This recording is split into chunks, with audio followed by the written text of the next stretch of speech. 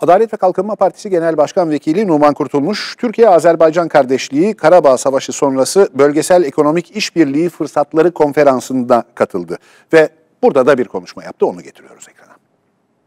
Türkiye, Rusya, İran, Azerbaycan, Gürcistan ve Ermenistan altı ülkenin, bu bölgenin önemli altı ülkesinin bir araya gelerek elin, ellerindeki ekonomik imkanları, ellerindeki işbirliği potansiyellerini daha da ileriye götürmesi kaçınılmazdır.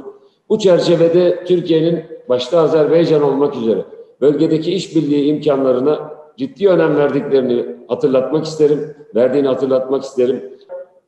Türkiye ile Azerbaycan arasındaki ilişkiler sadece karşılıklı ticaret değil, karşılıklı yatırımların gerçekleştirilmesi bakımından da önemli fırsatlar ortaya koyuyor.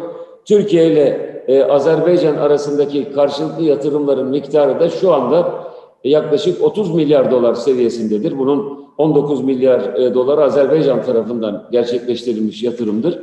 Bu rakamın da e, bir ivme kazandığını görüyoruz ama yeterli olmadığı kanaatindeyiz. Dünya yeniden kuruluyor ve burada Türkiye'de, Azerbaycan'da güçlü bir şekilde yer almak durumundadır. Türkiye ve Azerbaycan hem kendilerinin e, güvenliklerini sağlamak hem de bölgelerinde güvenlik ve işbirliğini artırabilmek açısından hem siyaset alanında hem ekonomi alanında hem diğer alanlarda bu bölgesel işbirliklerini e, geliştirmekle yükümlüdür.